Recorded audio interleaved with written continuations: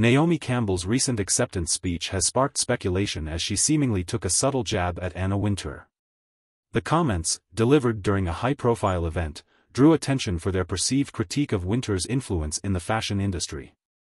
Campbell's remarks have fueled discussions about the dynamics between the two fashion icons and the broader implications for their professional relationships. The speech highlights the ongoing tensions and rivalries within the fashion world.